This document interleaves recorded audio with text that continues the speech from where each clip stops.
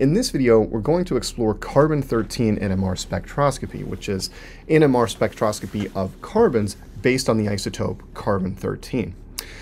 And this will give us information about the electronic environments of carbons and the functional groups present in a molecule, as well as some information about symmetry if we don't have as many signals as we have numbers of carbons in, say, the molecular formula. Carbon-13 NMR, while useful theoretically, has a number of practical limitations.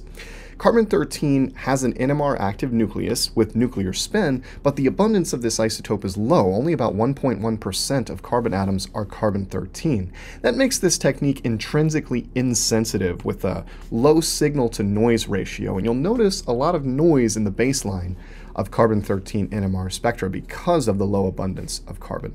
This also eliminates coupling of carbon-13 nuclei with each other and makes integrations not useful. And all of these add up to some problems with carbon-13 NMR relative to proton. Now we can still get useful information out of carbon-13 NMR spectra, but it's not as powerful a technique as proton NMR. Now, carbon-13 is an NMR active nucleus, and the proton is NMR active, and so anytime we have a CH, CH2, CH3 group, those hydrogens are going to couple to the carbon and cause splitting of the carbon NMR signals. This creates a mess of splitting typically because of the large number of hydrogens in the vicinity of each carbon. And so we use a technique called broadband decoupling in, in, uh, in taking carbon NMR spectra that eliminates this coupling of hydrogens with carbons. Essentially, all of the proton nuclear spins are irradiated with light that excites them and eliminates the splitting of each carbon signal as a result.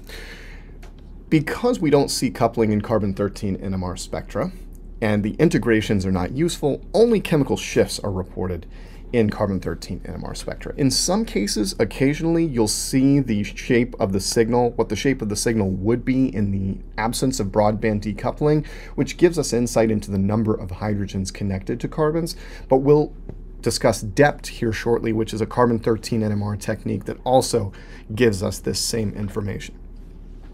So a few things about a typical carbon-13 NMR spectrum. The first thing is chemical shift is still the x-axis. We still have this issue where resonance frequencies, NMR resonance frequencies, depend on the magnetic field strength of the instrument. To eliminate this dependence, we set a standard at 0 ppm that is still tetramethylsilane. Now it's the carbons of tetramethylsilane and their resonance frequency. And then we express the resonance frequencies of other carbons relative to TMS dividing by the operating frequency of the instrument. This gives rise to chemical shift. Notice here that for a carbon-13 spectrum, the range of chemical shifts is much, much wider than the about 0 to 10 range we saw in proton NMR spectra. In carbon NMR, the scale runs from about 0 to 200, maybe 220 ppm. So much wider scale. We only see singlets, and the integrations are not super useful. The intensity of a carbon-13 NMR spectrum uh, signal depends not just on the number of carbons that are there, but other structural features that make the integrations complicated and, and not very easy to interpret. When we talked about chemical shift in proton NMR, the idea there was the chemical shift is often related to the electron density around each proton. Inductive effects by, for example, electron withdrawing electronegative heteroatoms will tend to shift resonances downfield, as will magnetic anisotropy effects due to pi electrons in alkenes and aromatics. Similar ideas apply in carbon-13 NMR spectroscopy, so we're going to use really analogous concepts to understand chemical shifts in carbon NMR. We already noted that resonance frequencies in carbon NMR in ppm vary over a much wider range than proton frequencies, typically 0 for TMS to about 220 ppm for heavily deshielded carbons, um, for example, carbons in CO double bonds. And as in proton NMR, greater, greater chemical shift corresponds to deshielded carbons with low electron density around them, and we still refer to this region sort of to the left of the carbon NMR spectrum as downfield. Now, as in proton NMR, chemically equivalent carbons, carbons that are homotopic, related by an axis of rotation, or enantiotopic, related by a plane of symmetry, give equivalent chemical shifts and give rise to one signal. And we can use this idea to infer the number of signals we would expect in a carbon NMR spectrum from the molecular structure. And three examples are shown here. For example, in this middle structure, we have a plane of symmetry or an axis of rotational symmetry that's right there. And each of these carbons would give rise to a unique signal because those carbons aren't related by this axis of symmetry. For example, this one is two carbons away from the methyl. This one is right next to the methyl. This one is also two carbons away from the methyl, but on the other side of the molecule and farther away from this methyl group, right? And so on and so forth. The carbons over here, though, are symmetrically related to those on the left, and so we would expect these three to give the same chemical shifts, to be part of the same signal as these three over here. So we would expect five signals total in this molecule in the middle, and it's worth pausing the video and working through the other two examples to verify that we would expect four signals in this case and only three signals in this case. Now, typical chemical shift ranges for signals in carbon-13 NMR spectroscopy are shown at the bottom of this slide.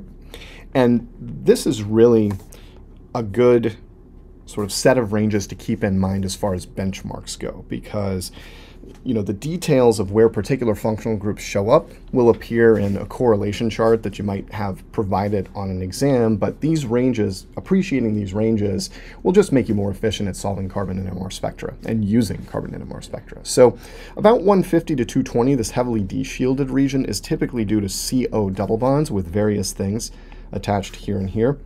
About 100 to 150, we get into our carbon-carbon double bond um, functional groups, alkenes and aromatics. Notice this is quite similar to proton NMR, where we find aldehydes and carboxylic acids way out here. We find sort of the alkene and uh, aromatic CH right in this area, and on from there.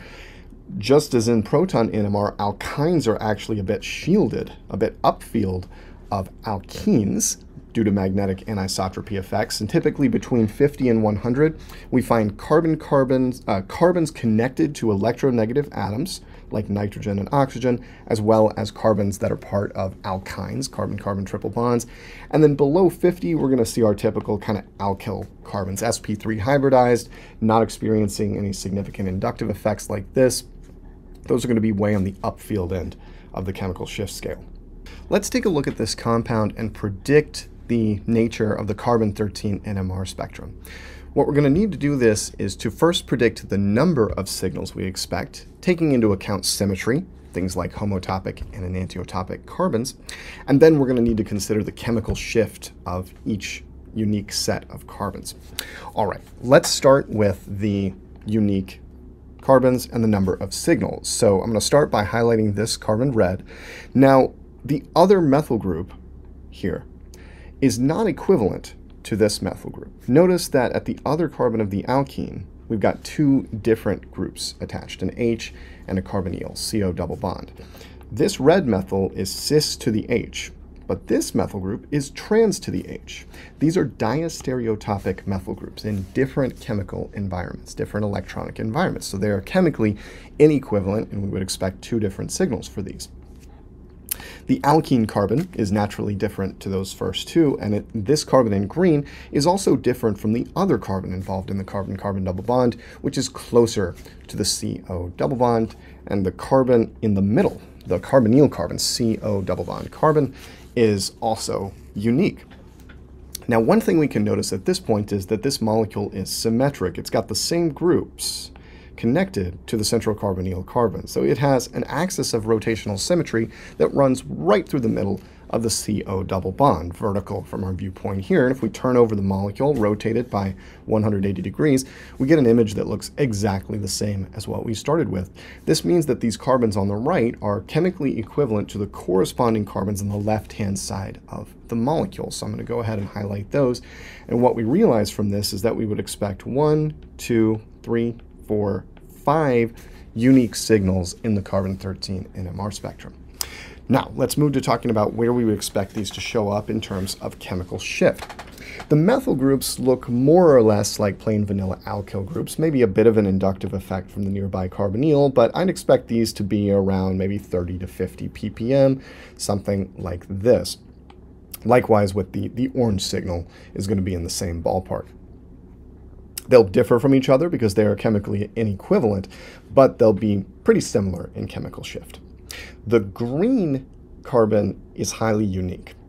Um, and it's, it's not just a plain vanilla alkene carbon. You may think, okay, this looks like an alkene, so I'm going to go to my typical chemical shift range here and say this is maybe somewhere between 150 and 100, maybe about 125 ppm.